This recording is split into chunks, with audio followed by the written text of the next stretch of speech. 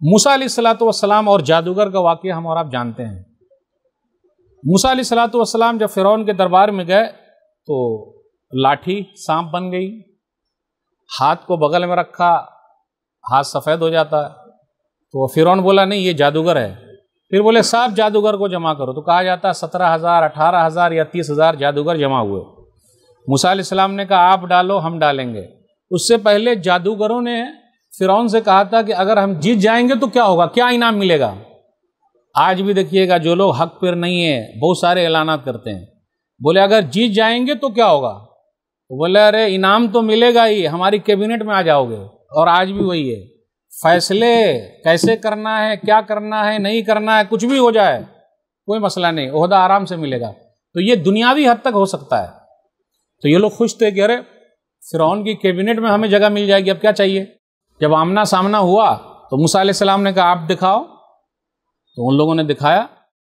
मूसा सलाम ने भी लाठी डाली, लाठी ने सब निगल लिया। जब निगल लिया तो जितने जादूगर थे सब सजदे में चले गए।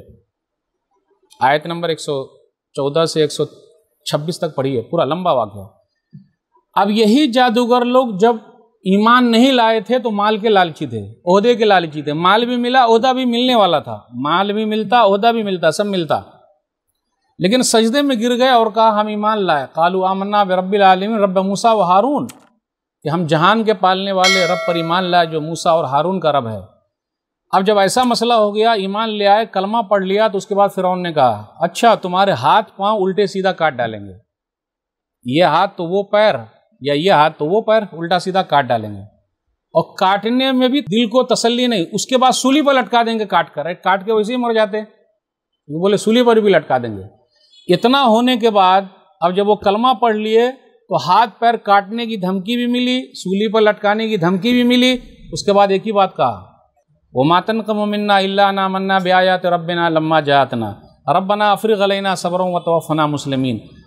आप हमसे इंतकाम और बदला इसलिए ले रहे हो कि हम एक अल्लाह को मानने वाले हो गए, और उसके बाद उन लोगों ने दुआ किया है, हमारे रब हम पर सबर उड़ेल दे।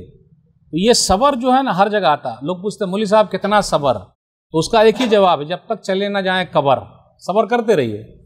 हम पर सबर उड़ेल दे और हमारा खात्मा इस्लाम पकड़। और उसके बाद उन्होंने चैलेंज किया सूरताहा सुर नंबर 20 में, आयत नंबर इकहत्तर, बहत्तर, तिहत्तर पढ़िए, फ़ख्ज़ माँ अंतकास इनमा तकजी हाजिल हयात दुनिया। वक्त के फ़िरौन को चैलेंज किया कि आपको जो करना है वो कर लो, दुनिया ही के मामले में कर सकते हो। हम तो एक अल्लाह पर ईमान ले आए हैं। तो हम लोगों का भी ऐसा ईमान मज़बूत होना चाहिए। आज भी कहीं कहीं पर पकड़ पकड़ के मसला पैदा किया जा रहा, बोलता कि नहीं बोलता? इसका ईमान मज़बूत है, जान तो दे देता है, लेकिन बोलता नहीं है। याद रखिए, घबराने की ज़रूरत नहीं है। तो पता ये चला, ईमान वालों के साथ ये जो आजमाइश है, ये हमेशा होएगी और होने वाली है। लेकिन साबित कदम रहना, सब्र से काम लेना, तकवा की ज़िंदगी गुजारना, ये सबसे अहम चीज़ है। ये चंद वाक़ात मैंने आपके सामने रखे, ताकि जो आजमाइश हो तो हम और आप न घबराएँ, चेहरे पर मुस्कुराहट रखें, अल्लाह का शुक्र अदा करें। कि अल्लाह ने ईमान जैसी दौलत से नवाजा है। पूरी दुनिया की दौलत एक तरफ़ हो जाए, लेकिन ईमान एक तरफ़ हो जाए ये हर एक को नसीब नहीं होता। और इस्लाम अल्लाह का, अल्लाह जिसके सीने को चाहता है, इस्लाम के लिए खोल देते हैं। ये चंद बातें थी। अल्लाह से दुआ है कि अल्लाह हम लोगों को आजमाइश में न डाल। अगर डाल ही दिया है तो आजमाइश में साबित कदम रख। अल्लाह जो बीमार हैं, शिफाए कामिला, आजिल आता फरमा। जो परेशान हाल है, अल्लाह उनकी परेशानी को दूर कर दे। अल्लाह जो कर्ज़ में डूबे, उनके लिए कोई रास्ता निकाल दे। जिनका कारोबार ठप हो गया, अल्लाह दोबारा उठा दे। आमीन। जिनकी लड़कियों के रिश्ते नहीं आ रहे, अल्लाह कोई रास्ता निकाल दे, आमीन। अल्लाह, हम सबको एक बना दे, नेक बना दे, आमीन। सुबहान रब रबिल्ज़त सफ़ून सलामसलिन वलहमदिल्ला वालकम वरहमल वर्का